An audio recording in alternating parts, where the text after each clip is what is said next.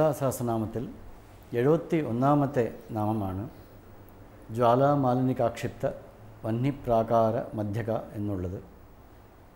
ജ്വാലാമാലിനി എന്നുള്ള ഒരു ദേവിയുണ്ട്. അവരാൽ നിർമ്മിക്കപ്പെട്ട നിക്ഷിപ്ത വന്യപ്രാകാര വന്യപ്രാകാരത്തിന്റെ അഗ്നിപ്രാകാരത്തിന്റെ മധ്യക അതിന്റെ നടുക്കിൽ ഇരിക്കുന്നവൾ എന്നാണ് ഈ മന്ത്രത്തിന്റെ അർത്ഥം. യുദ്ധത്തിന്റെ ഭണ്ഡാസുര യുദ്ധത്തിന്റെ ഒരു ഘട്ടത്തിൽ അവർ കുടിലതന്ത്രങ്ങൾ പ്രയോഗിച്ച് വിഷുക്രൻ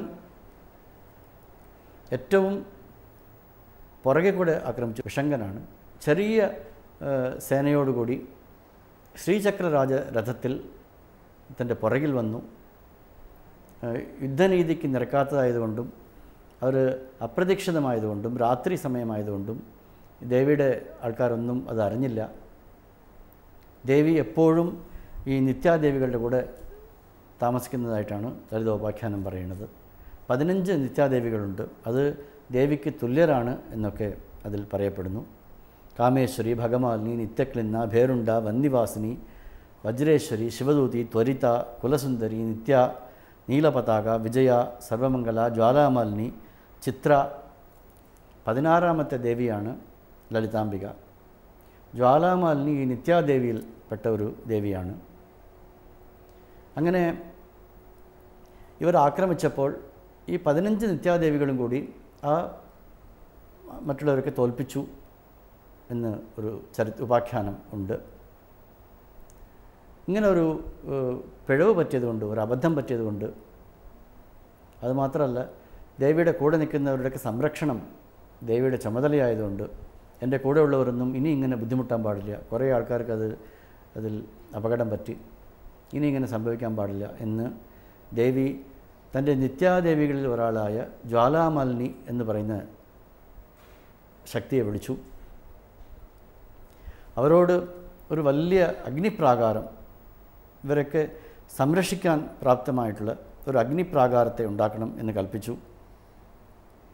അങ്ങനെ ഈ സകലമായ ശക്തി സൈന്യത്തെയും സംരക്ഷിക്കാൻ പ്രാപ്തമായിട്ടുള്ള ഒരു വലിയ വന്യമണ്ഡലം അഗ്നിപ്രാകാരം ഒരു അഗ്നിയുടെ കോട്ട എത്രയോ യോജന വിസ്താരമുള്ളതും എത്രയോ യോജന ഉയരമുള്ളതുമായിട്ടുള്ള ഒരു അഗ്നിയുടെ കോട്ടയുണ്ടാക്കി. അത് ദൂരെ നിന്ന് കാണുവാൻ ഒരു മാണിക്ക കല്ല് പോലെ ഉണ്ടായിരുന്നു.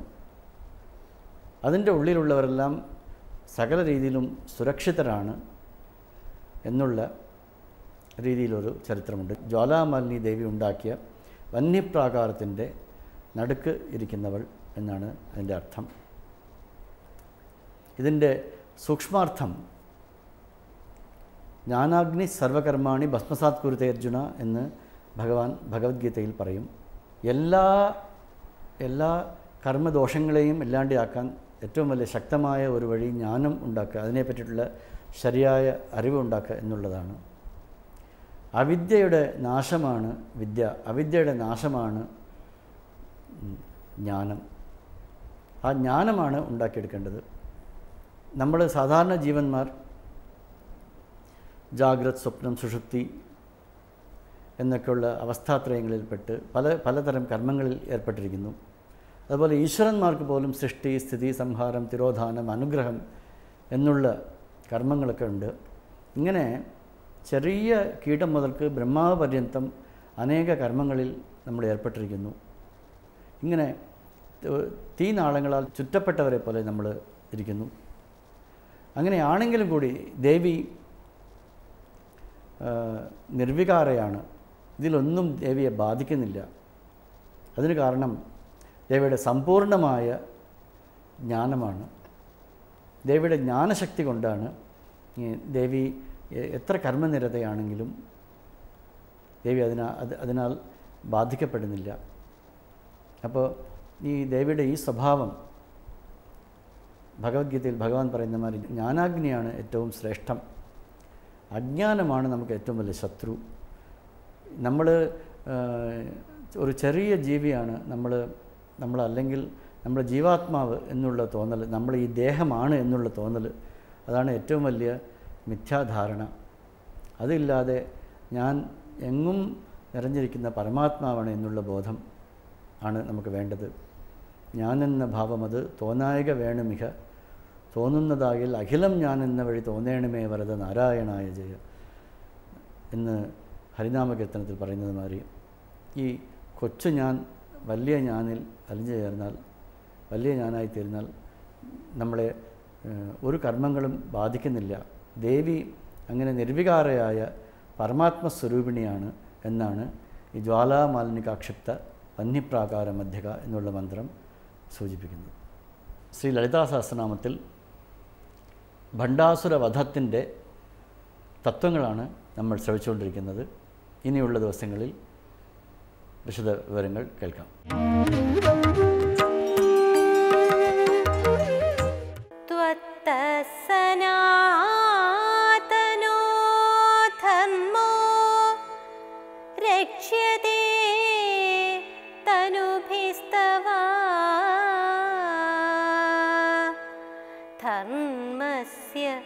പരമോ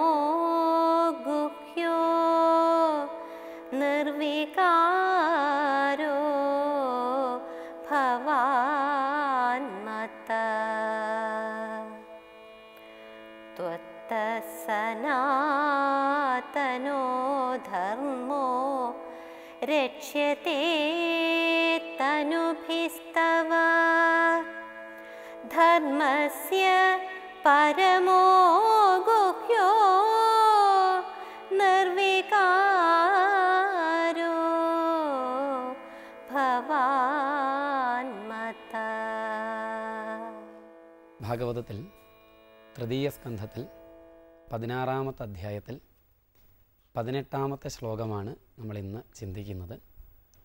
ഇവിടെ കഴിഞ്ഞ ശ്ലോകത്തിൽ ബ്രാഹ്മണർ എനിക്ക് ദൈവമാണ് ബ്രാഹ്മണരുടെ അനുഗ്രഹം കൊണ്ടാണ് എനിക്ക് എന്റെ പ്രവൃത്തി ചെയ്യാൻ കഴിയുന്നത് എന്നൊക്കെ ഭഗവാൻ പറഞ്ഞതിന് ആ പറഞ്ഞതിന്റെ താല്പര്യത്തെ സനകാദി മഹർഷിമാർ പറഞ്ഞു. ബ്രാഹ്മണരുടെ മഹത്വത്തെ ലോകത്തിന് ബോധിപ്പിച്ചു കൊടുക്കാൻ വേണ്ടിയാണ് ഭഗവാൻ ഇപ്രകാരം സംസാരിച്ചതെന്ന് ഞങ്ങൾ കരുതുന്നു. അങ്ങ് യഥാർത്ഥത്തിൽ ആരാണ്? ഈ പ്രപഞ്ചത്തിന്റെ ഉണ്ടാകലിനും നിലനിൽപ്പിനും നാശത്തിനും കാരണമായിട്ടുള്ള ഈ പ്രപഞ്ചത്തിന്റെ അധ്യക്ഷനായിട്ടുള്ള ഭഗവാനാണ്. അങ്ങാണ് എല്ലാറ്റിനും അവലംബം എല്ലാറ്റിനും ആധാരം. എന്നിരുന്നാലും എല്ലാറ്റിനും കാരണക്കാരനാണെങ്കിലും അങ്ങ് അതിനൊന്നും അവകാശവാദം ഉന്നയിക്കാതെ ഭക്തന്മാരുടെ മഹത്വത്തെ ലോകത്തിന് ബോധിപ്പിച്ചു കൊടുക്കാൻ വേണ്ടി ഇപ്രകാരം സംസാരിച്ചതാണെന്ന് ഞങ്ങൾ കരുതുകയാണ്. ഈ ശ്ലോകത്തിൽ വീണ്ടും ഭഗവാന്റെ മഹിമയെ അവരൊന്നുകൂടി എടുത്തു പറയുക. ത്വത്തഹ സനാതനോ ധർമ്മ. അല്ലയോ ഭഗവാനെ ത്വത്തഹ അങ്ങയിൽ നിന്നാണ് സനാതനമായ ധർമ്മം ഉണ്ടായത്. ഈ സനാതനധർമ്മം എന്നുള്ള പദം നമ്മുടെ സംസ്കാരത്തിന്റെ പര്യായ പദവും കൂടിയാണ്. ഹിന്ദു എന്നുള്ളത് പിന്നീട് നമുക്ക് വന്നു ചേർന്ന പേരാ. നമ്മളിൽ നിന്നും അന്യരായ വിദേശികൾ നമ്മളെ പേരിട്ട് വിളിക്കാൻ അവരുടെ സൗകര്യത്തിന് ഹിമാലയ പർവതത്തിന് ഇങ്ങോട്ടേക്ക് സിന്ധു നദി തീരത്ത് ആയിക്കൊണ്ട് വ്യാപിച്ചു നിൽക്കുന്ന സംസ്കാരത്തെ ഹിന്ദു എന്നവർ വിളിച്ചതാണ്. ഇവിടെ നമ്മൾ യഥാർത്ഥത്തിൽ സനാതന ധർമ്മികളാണ് സനാതന ധർമ്മത്തെ അവലംബിച്ചുകൊണ്ടുള്ള ഒരു ജീവിത വ്യവസ്ഥ അതാണ് ഭാരതീയ സംസ്കാരം. അപ്പം ത്വത്തഹ അല്ലയോ ഭഗവാനെ ഈ പ്രപഞ്ചത്തിന് ആധാരമായ ധർമ്മം അങ്ങിൽ നിന്നുണ്ടായി എന്നാണ്. ധർമ്മം എന്ന് വെച്ചാൽ ശങ്കരാചാര്യസ്വാമികൾ ഭഗവത്ഗീതയിൽ ധർമ്മത്തിന് നിർവചനം കൽപ്പിക്കും ഗീതയുടെ ഉപോത്ഘാത ഭാഷ്യത്തിൽ അവിടെ അദ്ദേഹം പറയും ജഗതസ്ഥിതികാരണം പ്രാണിനാം സാക്ഷാത് അഭ്യുദയ നിശ്രയസഹേതു യഹ സധർമ്മ. ഈ പ്രപഞ്ചത്തിന്റെ നിലനിൽപ്പിന് കാരണവും എല്ലാ ജീവനുകളുടെയും അഭ്യുദയത്തിനും നിശ്രയസത്തിനും കാരണവുമായിട്ടുള്ളതെന്തോ അതാകുന്നു ധർമ്മം എന്നാണ്. ആ നിലയ്ക്ക് പ്രപഞ്ചത്തെ നിലനിർത്തുന്ന താങ്ങി നിർത്തുന്ന ചേർത്തു കോർത്ത് നിർത്തുന്ന മൂല്യങ്ങളുടെ ആകെത്തുകയാണ് ധർമ്മം. ധർമ്മത്തിലാണ് പ്രപഞ്ചത്തിന്റെ നിലനിൽപ്പ്. ഈ ധർമ്മം ഉണ്ടായത് ഭഗവാനിൽ നിന്നാണ്. ഭഗവാനാണ് ഈ ധർമ്മത്തെ ഈ ധർമ്മത്തിന് ക്ഷയം സംഭവിച്ച വേളയിലൊക്കെ ഭഗവാനാണ് സംരക്ഷിച്ചത്. ഇപ്പോൾ സംരക്ഷിച്ചുകൊണ്ടിരിക്കുന്നതും ഭഗവാനാണ്. രക്ഷിയതേ തനുഭിസ്തവ. എത്രയോ അവതാരങ്ങൾ അങ്ങ് സ്വീകരിച്ചിട്ടുണ്ടെങ്കിൽ അതൊക്കെ എന്തിനാണ് സ്വീകരിച്ചത്? ധർമ്മത്തെ നിലനിർത്താൻ ധർമ്മത്തെ രക്ഷിക്കാൻ അധർമ്മത്തെ നശിപ്പിക്കാനാണ്. അങ്ങ് തന്നെ അത് പറഞ്ഞിട്ടുള്ളതുമാണ്. യഥാ യഥാ ഹി ധർമ്മസ്യ ഗ്ലാനിർഭവതി ഭാരത അഭ്യുത്ഥാനം അധർമ്മസ്യ തദാത്മാനം സൃജാമ്യഹം. ഗീതയിൽ അങ്ങ് പറഞ്ഞതാണ്. അപ്പോൾ ഈ ധർമ്മത്തിന്റെ ഉൽപ്പത്തി അങ്ങയിൽ നിന്നാണ് ഈ ധർമ്മത്തെ രക്ഷിക്കുന്നത് അങ്ങാണ്. ഇനി ഈ ധർമ്മത്തിന്റെ പ്രയോജനവും അങ്ങാണ്.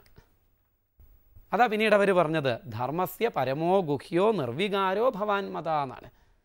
ഈ ധർമ്മത്തിന്റെ പരമമായ പ്രയോജനം നിർവികാരനും ഗുഹ്യനും ആയ അങ്ങ് തന്നെയാണെന്ന്. ഇവിടെ ധർമ്മം അനുഷ്ഠിക്കേണ്ടത് ധർമ്മത്തെ ആചരിക്കേണ്ടത് എന്തിനു വേണ്ടിയിട്ടാണ്? അങ്ങയെ സാക്ഷാത്കരിക്കാൻ വേണ്ടിയിട്ടാണ് ധർമ്മത്തിന്റെ പരമമായ പ്രയോജനം അങ്ങാകുന്നു. ഈ പ്രപഞ്ചത്തിന്റെ അടിസ്ഥാനമായ സത്യം ഭഗവാനാണ് എന്നുള്ള ജ്ഞാനം അനുഭവത്തിൽ വരിക എന്ന ആ ഈശ്വര സാക്ഷാത്കാരം എന്ന ലക്ഷ്യത്തിലേക്കുള്ള മാർഗമാണ് ധർമ്മം. അതുകൊണ്ട് മാർഗ മാർഗമായ ധർമ്മത്തിന്റെ ലക്ഷ്യം അല്ലെങ്കിൽ അതിന്റെ പ്രയോജനം ആരാണ്? അങ്ങ് തന്നെയാണെന്നർത്ഥം അപ്പം ധർമ്മം ഉണ്ടായിട്ടുള്ളത് അങ്ങയിൽ നിന്നാണ്. ഈ ധർമ്മത്തെ രക്ഷിക്കുന്നത് അങ്ങാണ്. ഈ ധർമ്മത്തിന്റെ പരമപ്രയോജനവും അങ്ങ് തന്നെയാണ്. അപ്പോൾ ഈ ധർമ്മമാണ് പ്രപഞ്ചത്തെ നിലനിർത്തുന്നത്. ആ നിലയ്ക്ക് പ്രപഞ്ചത്തിന്റെ ഉണ്ടാകലിനും നിലനിൽക്കലിനും നാശത്തിനൊക്കെ കാരണം അങ്ങ് തന്നെയാണ് അങ്ങനെയുള്ള അങ്ങ്. ദാ ഈ സജ്ജനങ്ങളുടെ അനുഗ്രഹം കൊണ്ടാണ് ഭക്തന്മാരുടെ അനുഗ്രഹം കൊണ്ടാണ് ബ്രാഹ്മണരുടെ അനുഗ്രഹം കൊണ്ടാണ് എനിക്ക് തന്നെ നിലനിൽപ്പുണ്ടാവുന്നത് എന്ന് പറയുമ്പോൾ അത് ആത്യന്തികമായി സത്യമല്ല. എന്നാൽ അങ്ങ് കളവ് പറഞ്ഞു എന്നല്ല അങ്ങീ പറഞ്ഞത് എന്തിനു വേണ്ടിയിട്ടാണ് ഈ മഹിമ സജ്ജനങ്ങൾക്കുണ്ട്. അങ്ങീ പറഞ്ഞത് എന്തിനു വേണ്ടിയിട്ടാണ് സജ്ജനങ്ങളുടെ മഹത്വത്തെ ലോകത്തിന് ബോധിപ്പിക്കാനും ലോകത്തിന് സജ്ജനങ്ങളിൽ ബഹുമാനം ഉണ്ടാക്കുവാനുമായിട്ടാണ്. അപ്പം ആ നിലയ്ക്ക് അങ്ങ് ഇത് പറഞ്ഞത് എന്തിനാണ്? അങ്ങനെ സജ്ജനങ്ങളിൽ ലോകത്തിന് ബഹുമാനം ഉണ്ടാവുമ്പോൾ അവർ ധർമ്മം ആചരിക്കുകയും അങ്ങയിലേക്ക് എത്തിച്ചേരുകയും ചെയ്യും എന്നർത്ഥം. അപ്പോൾ ഭഗവാൻ തന്നിൽ ന്യൂനതയായി പറഞ്ഞിട്ടുള്ളതിനെയൊക്കെ ഭഗവാന്റെ മഹത്വമായിട്ട് സനകാദി മഹർഷിമാർ സമർത്ഥിച്ചു വരികയാണ് ഈ ശ്ലോകങ്ങളിൽ. ഇനിയും അവർ തുടർന്ന് പറയുന്നു. ഭഗവാന്റെ മഹിമയെ കൂടുതൽ കൂടുതലായിട്ട് വെളിവാക്കുന്നു. അത് നമുക്ക് അടുത്ത ശ്ലോകങ്ങളിൽ കേൾക്കാം.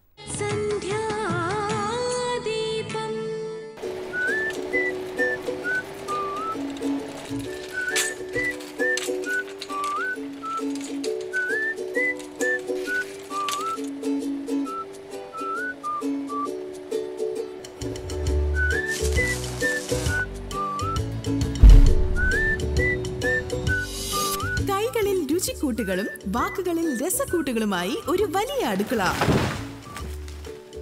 Annie's kitchen. ശനി ഞായർ ദിവസങ്ങളിൽ രാത്രി ഏഴ് മണിക്ക്.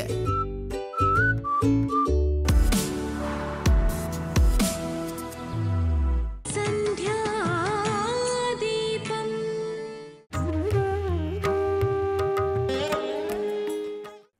അധർമ്മത്തിന്റെ പതനം സംഭവിച്ചേ മതിയാവുള്ളൂ. അവിടെ നമുക്കെല്ലാവർക്കും ഒരു വലിയ പങ്കുണ്ട് എന്ന് പറയാനാണ് ഞാൻ ആഗ്രഹിക്കുന്നത്.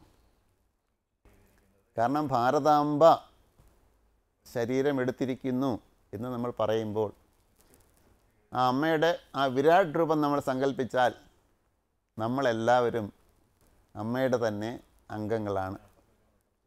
ഭാരതത്തിന്റെ മക്കൾക്ക് ഭാരതാംബ ശരീരമെടുക്കുമ്പോൾ ആ ശരീരത്തിന്റെ അംഗമല്ലാതെ മറ്റെന്തായി തീരാൻ സാധിക്കും? അപ്പോൾ നമ്മളെല്ലാവരും നമ്മുടെ ശരീരത്തിന്റെ അംഗങ്ങളാണ്. ഈ ഒരു ബോധം നമുക്ക് ഉണ്ടാകണം അതുണ്ടാകാനാണ് ഞാൻ ആഗ്രഹിക്കുന്നത്. വാസ്തവത്തിൽ അത് ആ ബോധമാണ് ഉണ്ടായത്. താൻ ഭഗവാന്റെ വിശ്വരൂപ ദർശനത്തിൽ കണ്ട ആ ശ്രീകൃഷ്ണന്റെ അംഗമാണ്. ശ്രീകൃഷ്ണന്റെ ഒരു ഒരു ആയുധം ഒരു അംഗം ഒരു ഉപകരണം. ശ്രീകൃഷ്ണന്റെ കയ്യിൽ ഒരു ഉപകരണമാണ്. അതേപോലെ നമ്മളെല്ലാവരും തന്നെ ആ വിശ്വമാതാവിന്റെ കൈകളാണ് കാലുകളാണ് കണ്ണുകളാണ് കുറഞ്ഞ പക്ഷം ഒരു കുറുനിരയെങ്കിലുമാണ് ഒരു തലമുടിയെങ്കിലുമാണ്. എന്തെങ്കിലും ഒന്ന് ആകാതിരിക്കാൻ നമ്മളെ കൊണ്ട് പറ്റത്തില്ല. അപ്പം നമ്മളെല്ലാവരും ഈ അമ്മയുടെ അവതാര കൃത്യത്തിന്റെ അവതാര ദൗത്യത്തിന്റെ ഭാഗങ്ങളാണ്. ഇതിൽ നിന്ന് ഒഴിഞ്ഞൊരു ജീവിതം നമുക്കില്ല. അപ്പോൾ അതുകൊണ്ട് നമ്മൾ എന്താണ് നമ്മൾ സ്വയം ഇപ്പോൾ തിരിഞ്ഞ് തിരഞ്ഞെടുക്കണം. നമ്മൾ ഏത് പക്ഷത്തിലാണ് നിൽക്കാൻ പോകുന്നത് നമ്മൾ എന്താണ് ചെയ്യാൻ പോകുന്നത് നമ്മൾ സ്വയം തിരഞ്ഞെടുത്തേ പറ്റുള്ളൂ. ഈ തിരഞ്ഞെടുപ്പിൽ നമുക്ക് മാറി നിൽക്കാൻ പറ്റത്തില്ല. നമ്മൾ അത് പെട്ടുപോയി. രമണ മഹർഷി അരുണാചലത്തെ സ്തുതിച്ച് അക്ഷരമണമാലയിൽ പറയുന്ന ചില വരികളുണ്ട്. അദ്ദേഹം പറയാണ് അദ്ദേഹം കുട്ടിക്കാലത്ത് വലിയൊരു ഭക്തനോ അല്ല ജിജ്ഞാസോ ഒന്നും ആയിരുന്നില്ല. ആത്മാന്വേഷണത്തിന് തപസ്സൊന്നും ചെയ്തിട്ടില്ല. ഒരു ദിവസം മരണഭയം ഉണ്ടായി. കട്ടിലിൽ കയറി കിടന്ന് മരണത്തെ സ്വീകരിക്കാൻ തയ്യാറായിട്ട് കിടന്നു. ആ അതിനെപ്പറ്റി ആ മനസ്സ് ആ ചിന്തയിലേക്ക് പൂർണമായിട്ടും കൊടുത്തു. അങ്ങനെയാണ് ആ ആത്മാനുഭവം ആദ്യം അദ്ദേഹം ഉണ്ടാകുന്നത്. പിന്നീട് അരുണാചലം എന്ന വാക്ക് ഒരു ഒരു ബന്ധുവിന്റെ വായിൽ നിന്ന് കേട്ടപ്പോൾ അതിനോട് അട്രാ ആകർഷണം തോന്നി. അങ്ങനെ അരുണാചലത്തെ അന്വേഷിച്ച് പോവുകയാണ്. ഇപ്പോൾ വാസ്തവത്തൊന്നും അറിയില്ല. സാധാരണ ഒരു കുട്ടി സാധാരണ ഒരു ഗ്രാമത്തിൽ പഠിച്ച് വളർന്ന് വന്ന സാധാരണ കുട്ടി അത്രയേ ഉള്ളൂ. ഒരു അസാധാരണത്വം അദ്ദേഹത്തിന്റെ കുട്ടിക്കാല ബാല്യകാലത്തെക്കുറിച്ച് ആർക്കൊന്നും പറയാനില്ല. അപ്പോൾ അദ്ദേഹം തന്നെ ചോദിക്കുകയാണ് അരുണാചല ശിവന്റെ അടുത്ത് വെറുതെ കളിച്ചു നടന്ന എന്നെ എന്തിനാണ് പിടിച്ച് കെട്ടി വലിച്ചഴച്ച് എന്നെ നിന്റെ മുമ്പിൽ കൊണ്ടുവന്ന് ഈ ആത്മാനന്ദം എന്നെ ഊട്ടി? അവസാനം നീ എന്നെ തന്നെ വിഴുങ്ങിയല്ലോ. ഞാൻ എന്ത് കുറ്റമാണ് ഇതിന് ചെയ്തത്? എന്ന് അദ്ദേഹം തന്നെ ചോദിക്കുന്നുണ്ട്. അരുണാചലം എന്ന് പറയുന്ന വലിയൊരു അന്നത്തിന്റെ ആഹാരത്തിന്റെ വലിയൊരു കൂന വലിയൊരു പർവതം കണ്ടിട്ട് സുഖമായിട്ട് ഊണ് കഴിക്കാം എന്നും പറഞ്ഞ് ഞാൻ വന്നു. പക്ഷേ അരുണാചലം തന്നെ വിഴുങ്ങിക്കളഞ്ഞു. ഞാൻ അരുണാചലത്തിന്റെ അന്നമായി തീർന്നു ആഹാരമായി തീർന്നു എന്ന് അദ്ദേഹം പറയുന്നുണ്ട്.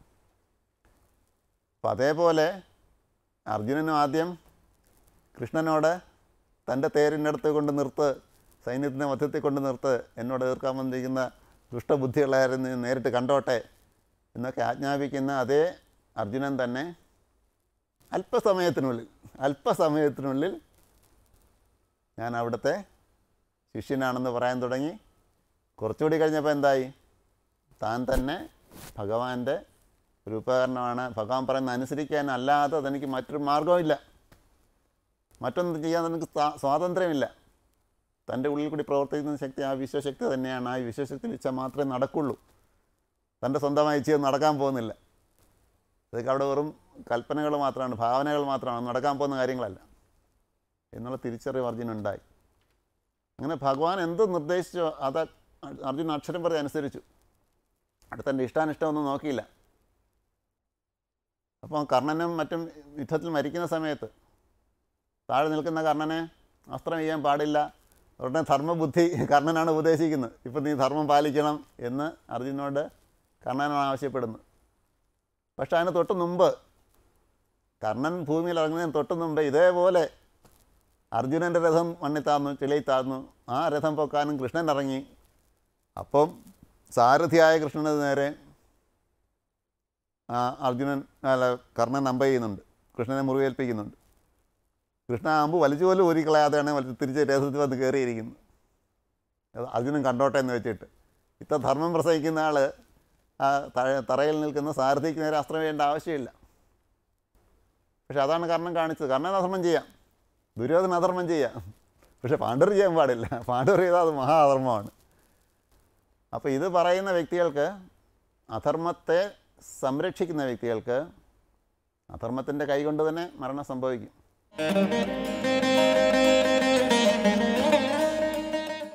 ഇതുവരെ പറഞ്ഞ നാല് വേദാംഗങ്ങളും ഭാഷാപരമാണ്. അല്ലെങ്കിൽ വേദത്തിന്റെ മന്ത്രസംഹിതകളെ അനുസ്യൂതം കാലാന്തരങ്ങളോളം നിലനിർത്തണമെങ്കിൽ ഇതൊക്കെ ആവശ്യമാണ്. നിലനിൽപ്പിന്റെ വിഷയത്തിലാണ് ഈ നാല് വേദാംഗങ്ങൾ ശാസ്ത്രങ്ങൾ ഇതുവരെ പറഞ്ഞത്. ഇനിയുള്ളത് ഈ വേദത്തിന്റെ കർമ്മകാണ്ഡത്തിന്റെ അന്തർഹിതമായിരിക്കുന്ന ആചരണങ്ങളുടെ യജ്ഞപദ്ധതികളുടെ നിലനിൽപ്പാണ്. അതിനെ നിലനിൽക്കാൻ വേണ്ടിയിട്ട് ഒരു വേദാംഗം നമുക്ക് ലഭിച്ചിട്ടുണ്ട് ഒരു ശാസ്ത്രം കിട്ടുന്ന കൽപ്പം എന്നാണ് അതിന്റെ പേര്. കൽപ്പം എന്നുള്ള പേര് പോലും വാസ്തവത്തിൽ ഇന്ന് നമുക്ക് അപരിചിതമാണ്. പക്ഷേ വേദങ്ങളിൽ നിന്നും ഉരുത്തിരിഞ്ഞെടുത്തിയ യജ്ഞ സംവിധാനത്തിന്റെ സമ്പൂർണമായ വിവരണമാണ്. കൽപ്യതയെ സമർത്ഥ്യതയെന്ന് കൽപ്പിക്കാൻ വെച്ചാൽ സമർത്ഥിക്കാതെ ഇതുകൊണ്ട് യജ്ഞവിധാനങ്ങളെ സമർത്ഥിക്കുന്നു എന്നുള്ളതുകൊണ്ടാണ് കൽപ്പം എന്ന് പേര് കിട്ടാൻ കാരണം. യജ്ഞത്തിന്റെ യാഗവിധാനങ്ങളെ അനുഷ്ഠാനങ്ങളും പ്രയോഗങ്ങളുമാണ് കൽപ്പശാസ്ത്ര വിഷയങ്ങൾ മാത്രം. അത് നമുക്ക് നിസ്സാരമായി തള്ളിക്കളയാനാവില്ല. അതിൽ നിന്ന് ഒത്തിരി കാര്യങ്ങൾ ഇന്നത്തെ ഭൗതിക ജീവിതത്തേക്ക് നമുക്ക് പഠിക്കാനുണ്ട്. ഒരുപക്ഷേ അവർ യജ്ഞവിധാനത്തിന് വേണ്ടിയാണ് ഇത് ആവിഷ്കരിച്ചത്. യാഗവിധികളെക്കുറിച്ചാണ് അതിന്റെ തുടക്കം തന്നെ. എത്ര തരം യാഗങ്ങളുണ്ട്? ഈ യാഗങ്ങളിലേക്ക് വേണ്ട എന്തൊക്കെയാണ്? അതിലേക്ക് വേണ്ടുന്ന പദാർത്ഥങ്ങൾ എന്താണ്? ആ പദാർത്ഥങ്ങളുടെ സംയോഗ വിയോഗങ്ങൾ ഇതിനെക്കുറിച്ചുള്ള നിഷ്കൃഷ്ടമായൊരു പഠനം അതിലുണ്ട്. യജ്ഞം എത്ര ദിവസത്തേക്കാണ് ചെയ്യുന്നത്? യജ്ഞത്തിന് ഉണ്ടാക്കിയെടുക്കുന്ന സംഭാരങ്ങൾ എന്തൊക്കെയാണ്? അതിലേക്ക് ഹോമിക്കാൻ വേണ്ട വേണ്ട വേണ്ട പദാർത്ഥങ്ങൾ എന്താണ്? വസ്തുക്കൾ എന്താണ്? ഈ വസ്തുക്കൾ എവിടെ നിന്ന് എങ്ങനെയൊക്കെ സംഭരിക്കണം സംഭരിക്കുന്ന വസ്തുക്കൾ എങ്ങനെ സൂക്ഷിച്ചു വെക്കണം സൂക്ഷിച്ചു വെക്കുമ്പോൾ ഇവകൾ തമ്മിൽ കൂടിച്ചേരുമ്പോൾ ഉണ്ടാകുന്ന രാസപ്രക്രിയകൾക്ക് വശംവതരാവാത്ത മട്ടിൽ ഇത് പ്രത്യേകം സൂക്ഷിച്ചു വെക്കണം. അത് പ്രത്യേകം പറയും. ഓരോ ദ്രവ്യങ്ങളും പരസ്പരം കൂടിച്ചേർന്നാൽ ഉണ്ടാകാവുന്ന രാസപ്രക്രിയയുടെ നെയ്യും തേനും തേനും പാലും ഇങ്ങനെ ഇങ്ങനെ ഒത്തിരി ഒത്തിരി വിഷയങ്ങൾ വരും. ഇങ്ങനെയുള്ള വസ്തുക്കൾ അകറ്റി മാറ്റി എത്ര ദൂരെ വയ്ക്കണം എന്നതിനെക്കുറിച്ചുള്ള നിഷ്കൃഷ്ടമായ അളവും കണക്കും ഈ യജ്ഞശാലയിൽ നമുക്ക് കിട്ടും. അപ്പോൾ ഇതൊരു വെറും ഒരു യാഗ യാഗവിധികളുടെ വിവരണം മാത്രമല്ല ശാസ്ത്രീയമായൊരു പഠനം കൂടിയാണ്. ഇപ്പം തേനിലെയും നെയ്യിലെയും അതുപോലെ എന്താണ് വെള്ളത്തിന്റെയും ഘടകങ്ങൾ ശരിക്കറിഞ്ഞു പഠിച്ചെങ്കിൽ മാത്രമേ അവകൾ തമ്മിലുള്ള രാസപ്രക്രിയകൾക്ക് വിയോഗ സംയോഗങ്ങൾ സംഭവിക്കാതെ സൂക്ഷിച്ചു വെക്കാൻ പറ്റുള്ളൂ. ഇത് ഇതവർ പഠിച്ചിട്ടുണ്ട്. പഠിച്ചിട്ടാണ് ഇതിനകത്ത് സൂക്ഷിച്ചു വെക്കേണ്ട പ്രക്രിയകളെക്കുറിച്ച് പറയുന്നത്. അതുകൊണ്ടാണ് ഇതിൽ ഉപയോഗിക്കേണ്ട പദാർത്ഥങ്ങൾ എന്തൊക്കെയാണ് ആ പദാർത്ഥങ്ങൾ എങ്ങനെയൊക്കെ എവിടേക്കാണ് സൂക്ഷിച്ചു വെക്കേണ്ടത് ഈ വസ്തുക്കളുടെ സ്ഥാനം എവിടെയാണ് ദ്രവ്യങ്ങളുടെ സ്വഭാവം എന്താണ് ഇതൊക്കെ പഠിക്കണം. ഇതെല്ലാം അതിനകത്ത് രേഖപ്പെടുത്തുന്നുണ്ട്. അങ്ങനെ രേഖപ്പെടുത്തി അപ്പോൾ ഇതാണ് നമുക്ക് ഇന്ന് നമ്മുടെ ജീവിതത്തിലേക്ക് വരുമ്പോൾ നമുക്ക് എത്രയോ എത്രയോ ലക്ഷങ്ങൾ വർഷങ്ങൾക്ക് മുമ്പാണ് ഇവർ ഈ ഓരോ വസ്തുക്കളുടെയും കണ്ടന്റുകളെയും സ്വഭാവത്തെക്കുറിച്ചും നന്നായി പഠിച്ചറിഞ്ഞ് എഴുതി വെച്ച കൽപ്പശാസ്ത്രം കൂടി നമുക്ക് തന്നത്. ഇനിയും അതിൽ കൂടി ഈ വസ്തുക്കളെല്ലാം ശേഖരിച്ച് വെക്കുമ്പോൾ സ്ഥാനങ്ങളുണ്ട് ഓരോന്ന് വയ്ക്കാനാണ് യജ്ഞവേദിയുടെ ഇന്ന ഭാഗത്ത് ഇന്ന വസ്തുക്കൾ വെക്കണം ഇന്ന ഭാഗത്ത് ഇന്നത് വെക്കണമെന്ന് വ്യവസ്ഥയുണ്ട്. വ്യവസ്ഥ വെറുതെയല്ല ഉപയോഗിക്കുന്ന സാധനങ്ങൾ ഇനി ഉപയോഗിക്കേണ്ട സാധനങ്ങൾ ഒരു വശത്ത് സൂക്ഷിച്ച് വെക്കണം ഉപയോഗിച്ച് കഴിഞ്ഞ സാധനം അവിടെ വെക്കരുത് അത് വേറെടുത്ത് കൊണ്ടുവയ്ക്കണം. അതിന് സ്ഥാനമുണ്ട്. അതിന് അത് ഉപയോഗിച്ച് കഴിഞ്ഞ സാധനം ഹോമിച്ച് കഴിഞ്ഞ ആ പാത്രം വയ്ക്കാൻ വേറൊരു സ്ഥാനമാണ്. ഹോമിക്കുന്നതിന് മുമ്പ് മറ്റു സ്ഥാനമാണ്. ആ സ്ഥാനത്തു നിന്ന് എടുത്ത് അതിന്റെ അകത്ത് ഹവിഫ് അഗ്നിയിൽ ഹോമിച്ച് കഴിഞ്ഞാൽ പിന്നെ അവിടെ വെക്കരുത് മാറ്റി വയ്ക്കണം ഇത് എന്താ നിഷ്കൃഷ്ടമായ നിയമമാണ്. ഈ നിയമങ്ങളുടെ വ്യവസ്ഥയാണ് കൽപ്പശാസ്ത്രം നമുക്ക് നന്നായിട്ട് പഠിപ്പിക്കുന്നത്. പക്ഷേ ഇന്ന് നമ്മൾ നമ്മുടെ അടുക്കളകളിൽ ഇതന്നെ സൂക്ഷിച്ച് വരുന്നുണ്ട്. കാരണം പാചകം ചെയ്യുന്നതിന് മുമ്പ് ഉപയോഗിക്കേണ്ട ഭക്ഷ്യവസ്തുക്കൾ ഒരിടത്ത് സൂക്ഷിച്ചു വെക്കും. അവിടെ നിന്നെടുത്ത് പാചകം ചെയ്ത് കഴിഞ്ഞാൽ അത് ഒരു പാത്രത്തിലാക്കി അടച്ച് അടുക്കളയിൽ തന്നെ സൂക്ഷിച്ചു വെക്കും. ഉപയോഗിച്ച് കഴിഞ്ഞാൽ ആ പാത്രം അവിടെ നിന്ന് മാറ്റി വേറെടുത്ത് വയ്ക്കും ഇതൊക്കെ നമ്മൾ ചെയ്യുന്നതിന് തന്നെ. പക്ഷേ ഈ ചെയ്യുന്നതിന് ശാസ്ത്രീയമായ ഒരു അടിത്തറയുണ്ടാക്കി വെക്കലാണ് കൽപ്പന ചെയ്തത്. ഇത് തമ്മിൽ ഒരിക്കലും കൂട്ടിക്കുഴയ്ക്കാൻ അനുവദിക്കുമായിരുന്നില്ല കർശനമായ നിയമത്തിൽ കൂടിയാണ്. ഇന്നിടത്ത് തന്നെ വയ്ക്കണം ഇന്നിടത്തേക്ക് മാറ്റി വയ്ക്കണം ഇത്ര അകലം കീപ്പ് ചെയ്യണം എന്നൊക്കെയുള്ള കാര്യത്തെക്കുറിച്ചുള്ള ഒരു നല്ല പഠനം. അപ്പം ഈ ഹോമത്തിന് ഉപയോഗിക്കുന്ന ദ്രവ്യങ്ങളും അവയുടെ സ്ഥാനങ്ങളും അവയുടെ ഉപയോഗ യോഗ്യതകളെക്കുറിച്ചും ഒക്കെ വിസ്തരിച്ച് നമ്മെ ബോധ്യപ്പെടുത്തണം ഇതുകൂടാതെ നാല് ശാസ്ത്രങ്ങൾ ഇതിൽ നിന്ന് പിന്നീട് നമുക്ക് ഉണ്ടാക്കിയെടുക്കാൻ പറ്റിയിട്ടുണ്ട്. ഒന്ന് എന്താ ശ്രൗതം പിന്നെ ഗൃഹ്യം പിന്നെ ധർമ്മം പിന്നെ എന്താ ശുൽഭസൂത്രങ്ങൾ. ഇത് കൽപ്പത്തിൽ നിന്ന് വികസിപ്പിച്ചെടുത്താണ് വേദത്തിൽ യജ്ഞശാലകളിൽ അറിഞ്ഞിരിക്കേണ്ടുന്ന ആചാരങ്ങൾ അനുഷ്ഠാനങ്ങൾ. ഓരോ വസ്തുക്കൾ എടുത്തു കഴിയുമ്പോഴും എപ്പോൾ കൈ കഴുകണം കൈ കഴുകിയിട്ടേ അടുത്ത സാധനം എടുക്കാവൂ എന്നിങ്ങനെ ഓരോന്നും ഓരോ ശുദ്ധാശുദ്ധ വിവേകങ്ങളുണ്ട്. അതൊക്കെ വിസ്തരിച്ച് പറയും യജ്ഞശാലയിലെ ഈ യജ്ഞവേദിയിൽ വെച്ചുള്ള സൗദകർമ്മങ്ങൾക്ക് ഇനി ഇത് അവിടെ ഗൃഹ്യം വീടുകളിൽ നമ്മൾ അനുഷ്ഠിക്കേണ്ടുന്ന കുറേ ആചാരമുണ്ട്. അതും ഇതിനടുത്താണ്.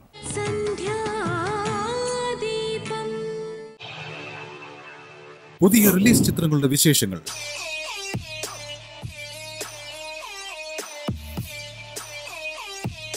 ഏറ്റവും പുതിയ പാട്ടുകൾ. ട്രെയിലേഴ്സ്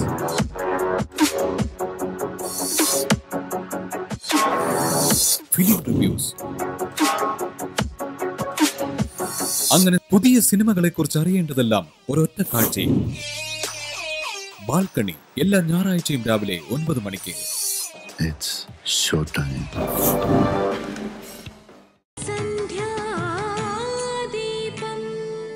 സ്വാമിയേ! പുണ്യപാപ ചുമടുകൾ എന്ത് വരുന്ന അയ്യപ്പ നമ്മൾ പറയുമ്പോൾ എന്താണ് പുണ്യം? എന്താണ് പാപം എന്ന് ചിന്തിക്കുമ്പോൾ ഈ ശബരിയുടെ കഥയൊന്ന് ഓർത്താൽ മതി. വേറെ പ്രത്യേകിച്ച് പുസ്തകം നോക്കാനൊന്നുമില്ല. ചെയ്ത പാപത്തിന് പരിഹാരം ചെയ്ത് തന്റെ ഉള്ളിന്റെ ഉള്ളിലേക്ക് ചിന്തിച്ച് ആത്മാരാമയായി തീർന്ന് രാമനെ മാത്രം ഭഗവാനെ മാത്രം ചിന്തിച്ച് ആ തപസ്സിലേക്ക് എത്തിയ ശബരിമലയെക്കുറിച്ച് ചിന്തിച്ചാൽ തന്നെ തത്വമസി എന്താണെന്ന് നമുക്ക് മനസ്സിലാവും. ആ ശബരിമലയിലേക്കാണ് നമ്മുടെ നടന്നടുക്കലി കയറ്റം. ആ മലയാണ് കയറുന്നത്.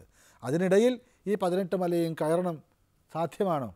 അതിന് പകരം പതിനെട്ട് പടി വെച്ചു. അതിന്റെയൊക്കെ തത്വങ്ങളൊക്കെ എത്രയോ ഉദാത്ത് എത്രയോ നാളുകളായിട്ട് എത്രയോ ആചാര്യന്മാരായിട്ട് പല വ്യാഖ്യാനങ്ങൾ പറഞ്ഞിരിക്കുന്നു.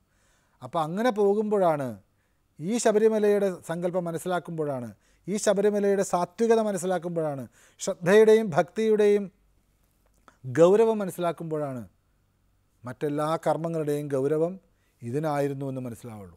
അപ്പോൾ ഇനിയെങ്കിലും ഈ ഒരു വർഷമെങ്കിലും എല്ലാ സ്വാമി ഭക്തരും തീരുമാനിക്കാൻ ഭഗവാൻ തന്നെ അനുഗ്രഹിക്കട്ടെ. ശ്രദ്ധ വേണം.